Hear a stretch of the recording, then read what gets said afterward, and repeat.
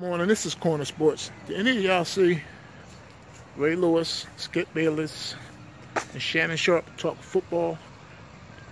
Talk about Baltimore Ravens football and their interests in uh, Colin Kaepernick.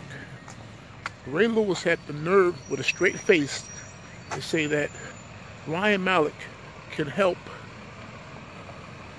the Baltimore Ravens more than Colin Kaepernick.